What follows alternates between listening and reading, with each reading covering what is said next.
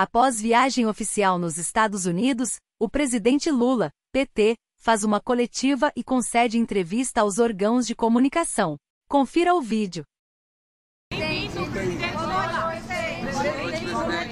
Não tem. com o presidente Joe Biden e se saiu algum anúncio sobre o Fundo Amazônia? Olha, primeiro, eu gostaria de dar os parabéns a vocês, porque essa função de jornalista deve ser muito complicada. Ficar num frio como esse aqui, esperando para fazer uma pergunta. O jornalismo é uma profissão que precisa ganhar muito bem. Muito bem.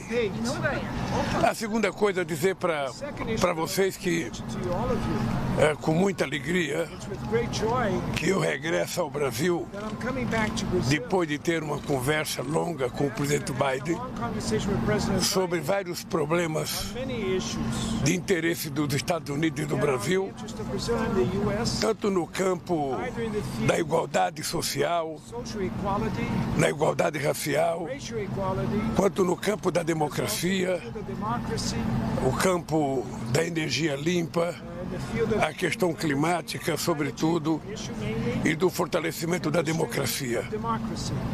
Eu penso que todo mundo sabe da importância de uma boa relação entre Brasil e Estados Unidos.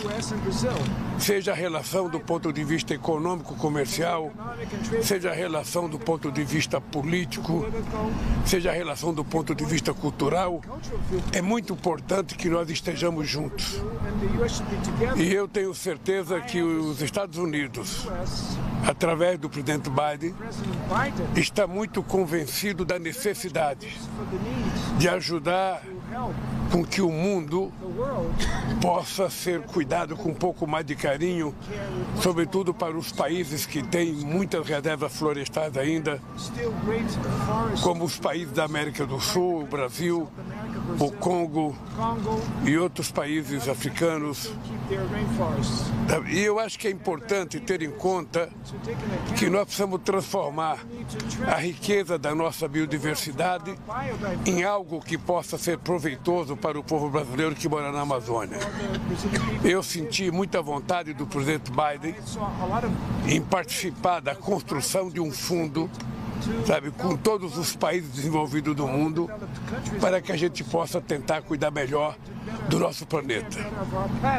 Vocês sabem do nosso compromisso no Brasil de até 2030 chegarmos a desmata, ao desmatamento zero. Vai ser um trabalho muito, muito, muito delicado. Nós vamos ter que conversar com muitos governadores, com muitos prefeitos. Nós vamos ter que, que, que ao invés de proibir, a gente vai ter que ajudar a incentivar as cidades a não terem que desmatar.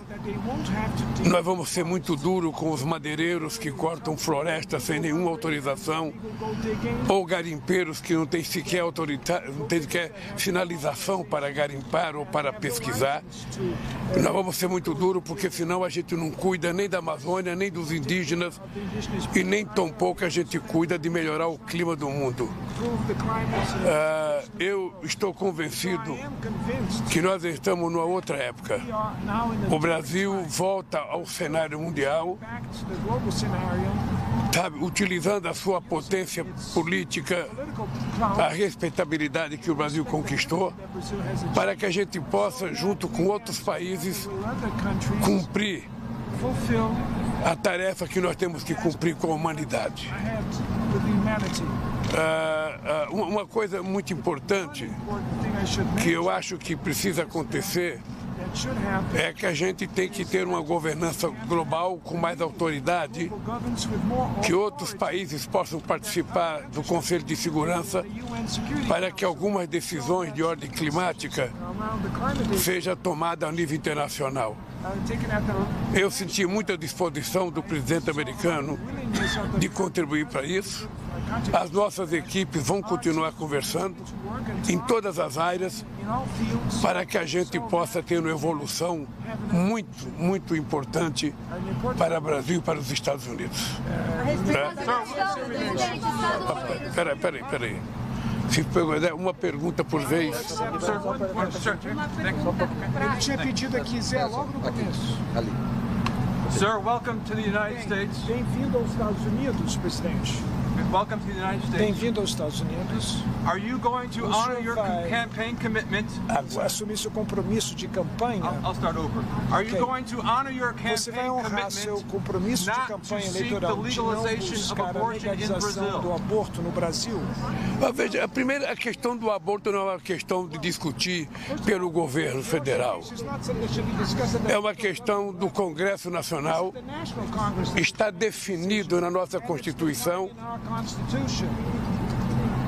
E, portanto, não é um assunto a ser levado à discussão pelo presidente da República. By the President of the Republic. Esse é um assunto pertinente ao Congresso Nacional. Espera um pouquinho, Guilherme. Presidente, obrigada. É, os Estados Unidos vão entrar no Fundo Amazônia? Eu acho que vão. Eu acho que vão. Veja, não só eu acho que vão, como é necessário que participe. necessary that they all of this Porque, veja, o Brasil não quer transformar a Amazônia num santuário da humanidade. Mas também o Brasil não quer abrir mão de que a Amazônia é um território do qual o Brasil é soberano.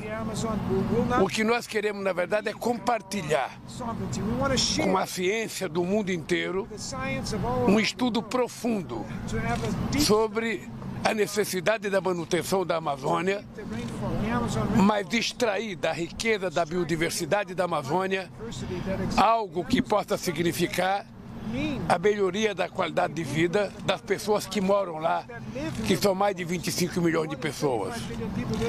E fazendo isso, a gente vai estar garantindo que haja uma maior segurança com relação ao planeta. Porque agora todo mundo já sabe que o planeta é redondo, that the planet is round. que ele gira That it, it e que ele, portanto, passa em todo lugar e que ninguém escapa no one will can escape. da destruição que a gente fizer no planeta. Por favor, Kennedy aqui. Kennedy aqui. Por favor, Kennedy aqui. O senhor fez a proposta de um grupo de paz para tentar mediar o fim da guerra entre a Ucrânia e a Rússia. Como que o presidente Biden reagiu a essa proposta? E só para ter claro na questão do Fundo Amazônia, se o Biden falou claramente que vai colocar recursos no Fundo Amazônia, ou se vocês vão construir um fundo para os países da região amazônica com dinheiro americano e de outros países. Veja, eu acho que eu não discuti especificamente um fundo amazônico. Eu discuti a necessidade dos países ricos assumir a responsabilidade de financiar todos os países que têm florestas e só na América do Sul, além do Brasil, nós temos o Equador, temos a Colômbia, temos o Peru, temos a Venezuela, temos as Guianas, ou seja, nós temos vários países que nós temos que cuidar. Então eu não tratei especificamente da, da- do, do fundo amazônico, eu dei da necessidade de preservar. Agora o que eu posso dizer é que ele vai participar do fundo amazônico. A segunda coisa, a, segunda coisa, a segunda coisa é que eu falei com o presidente Biden o que eu já tinha falado ao presidente Macron, o que eu já tinha falado ao chanceler alemão Olaf Schutter, sobre a necessidade de se criar um grupo de países que não estão envolvidos diretamente ou indiretamente na guerra da Rússia contra a Ucrânia, para que a gente encontre possibilidade de fazer a paz. Ou seja, eu estou convencido que é preciso encontrar uma saída para colocar fim a essa guerra. E eu senti da parte do presidente Biden a mesma preocupação, porque ninguém quer que essa guerra continue.